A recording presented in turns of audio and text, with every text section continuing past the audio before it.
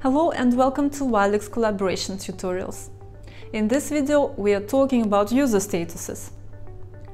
Your user status is always synced over all Wildix devices registered to your account. If you change it, it is changed everywhere. And uh, in case your user status is published somewhere on a website, for example, uh, via WebRTC Kite, then it will be automatically updated there as well. You can easily change your user status into Do Not Disturb or Away with one mouse click. But if you need more details, uh, such as status message or the time and date when your status should switch back to available, well, it's more than one click and it takes time. It can be a little bit annoying to add it again and again each day.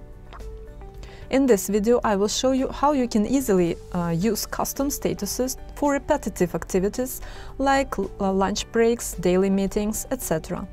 And it takes me just one click to apply this custom user status. Let's open Collaboration Settings, Presence and Chat tab. Here you see that I have already added some custom statuses.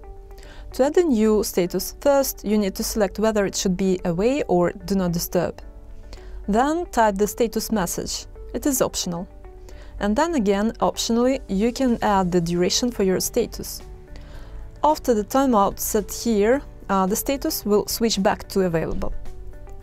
If you don't need the duration, you can disable the switch next to the duration. Don't forget to hit the plus icon before hitting save. Once you add the custom statuses here in Settings, they appear in the drop-down list and they are available for selection under your normal user statuses.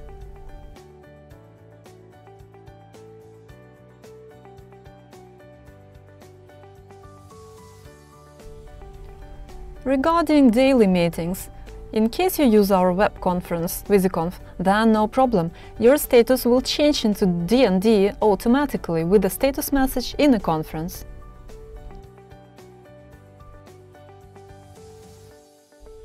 And I also wanted to remind you that you can decide to treat your incoming calls in a different way based on your user status.